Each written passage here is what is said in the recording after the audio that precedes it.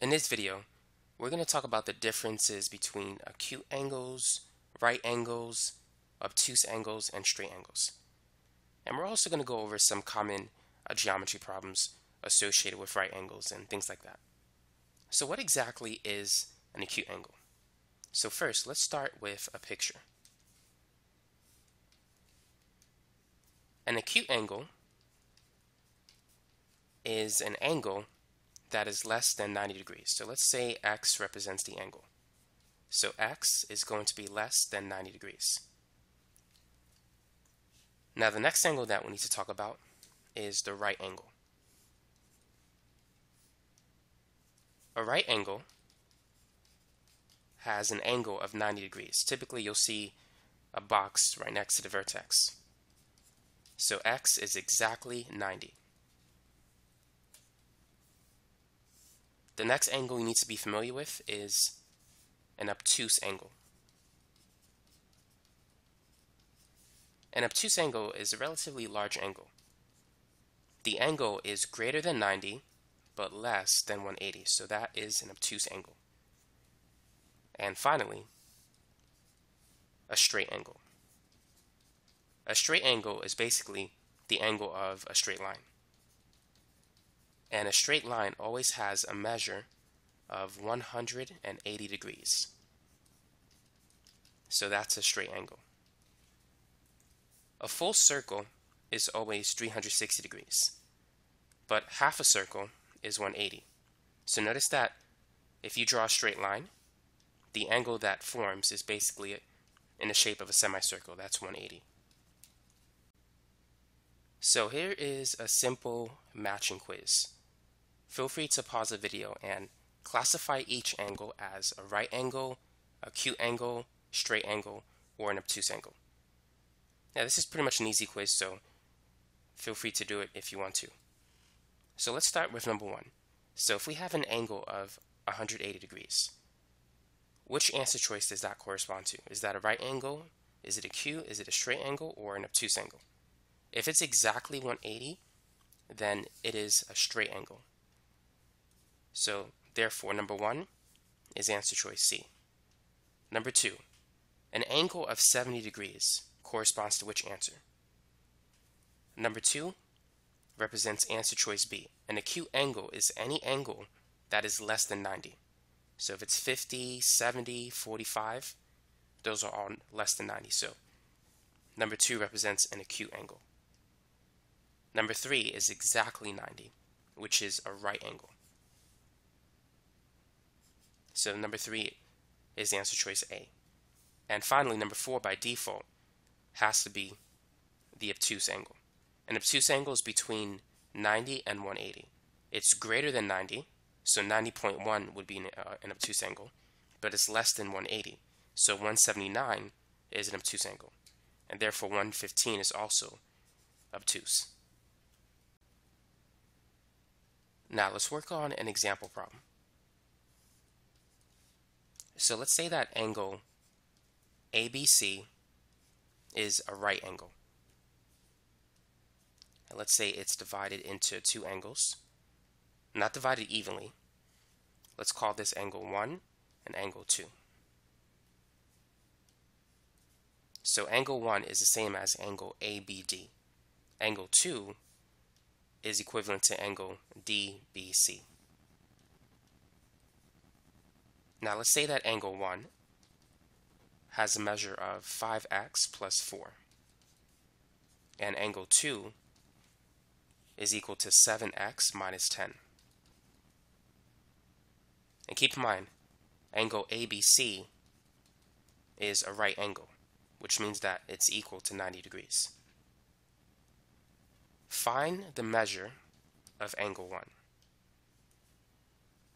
So feel free to pause the video. Now before we do this problem, I want to give you some examples. So I'm going to draw angle ABC again.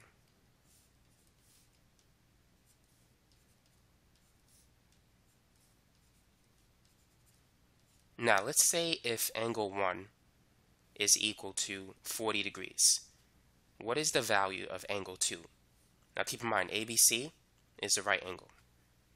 Which means that it has to add up to 90. So therefore, the value of angle 2 is 50. So these two angles, they have to equal 90. 40 plus 50 is 90. So now let's finish this problem. So we know that angle 1 plus angle 2 has to equal 90. Whenever two angles add up to 90, it's said that those angles are complementary angles. Supplementary angles add up to 180. Now, we can replace angle 1 with 5x plus 4 because those two are equal to each other. And angle 2 is 7x minus 10. So if we could find the value of x, we could find the measure of angle 1. Once we have the value of x, all we need to do is plug it in to 5x plus 4, and that's going to give us the measure of angle 1. So let's simplify the equation on the left side. Let's combine like terms. 5x plus 7x is 12x, and 4 minus 10 is negative 6. So 12x minus 6 is equal to 90. So now what we're going to do is add 6 to both sides. So on the left side, all we're going to have left over is 12x. On the right side, 90 plus 6, which is 96. So now what we need to do is divide both sides by 12. 12 goes into 96 8 times. So x is equal to 8.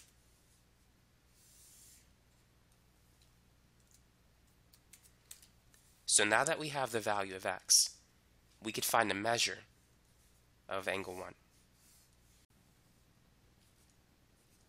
So let's replace angle 1, I mean x, with 8. So angle 1 is going to be 5 times 8 plus 4. 5 times 8 is 40. 40 plus 4 is 44. So the measure of angle 1 is 44 degrees.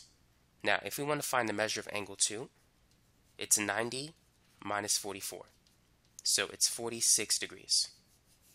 But the answer that we're looking for in this problem is the measure of angle 1, which is 44. Now here's another example.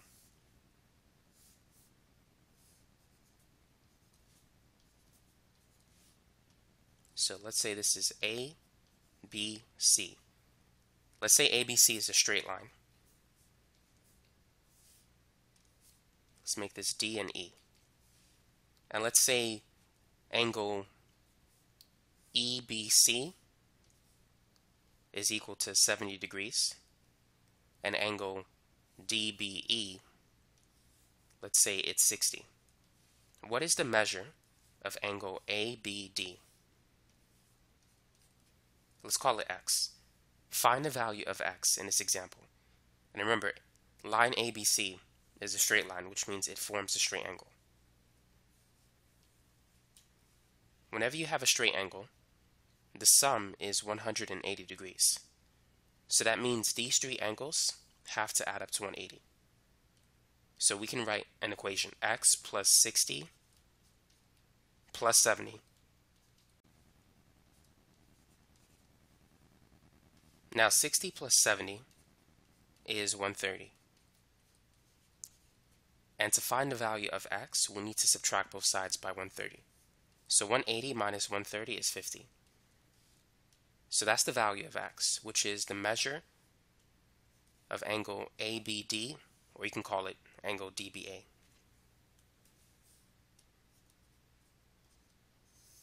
So here's another example. Let's say this is line ABC. And let's call angle DBC angle 2 and ABD is going to be called angle 1. Now let's say that angle 1 is equal to x squared plus 16 and angle 2 is 20x minus 25. And keep in mind, ABC is a straight line. What is the measure of angle 2? Feel free to pause the video and try this problem. Now, if ABC is a straight line, that means that angle 1 and angle 2 adds up to 180. Whenever you have two angles that add up to 180, they're known as supplementary angles. So let's write an equation. Angle 1 plus angle 2 is equal to 180. Now angle 1 is x squared plus 16. Angle 2 is 20x minus 25. So now let's simplify the equation. 16 minus 25 is negative 9. Now notice that we have a quadratic equation, which means we need to take the 180, move it to the left side, and then to find the value of x, we can use the quadratic formula, or we could factor.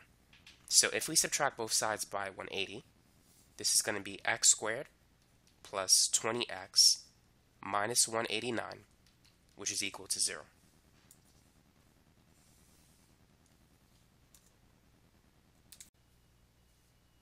In order to factor this trinomial, we need to find two numbers that multiply to negative 189 but add to positive 20. So what are those two numbers? It turns out that 189, it's not divisible by 2, but it is divisible by 3. If you take in your calculator, if you type in 189 divided by 3, you're going to get 63. Now 63 is 7 times 9, which means 189 is divisible by 7. If you divide 189 by 7, you're going to get 27. And notice that 7 and 27 differ by 20. But 7 plus negative 27, that's negative 20, so we got to reverse the sign. So what we want to use is negative 7 and positive 20. So therefore, to factor this expression, it's going to be x minus 7 times x plus 20. And so that's equal to 0. Now we need to set each factor equal to 0. Now if x minus 7 is equal to 0, that means x is positive 7. And if x plus 20 is equal to 0, that means x is negative 20. Now we're not going to use this answer because if we plug in negative 20 into angle 2, we're going to get a negative angle, and that's not practical. So therefore, x is equal to 7. So now that we have the value of x, we could find the measure of angle 2. So angle 2 is equal to 20x minus 25. But let's replace x with 7. Now what's 20 times 7? 2 times 7 is 14. So 20 times 7 is 140 all you need to do is add the 0. And 140 minus 25 is 115. So this is the measure of angle 2. It's 115 degrees. Now let's go ahead and find the measure of angle 1. By the way, this is the answer for the whole problem. Now angle 1 is x squared plus 16. So that's going to be 7 squared plus 16. 7 squared, that's 7 times 7, that's 49. And 49 plus 16 is 65. So that's the measure of angle 1. Now to make sure that we have the right answer, we need to check to see if these two angles add up to 180. And 115 plus 65, if you type it in your calculator, it does add up to 180. So this is the right answer for the problem.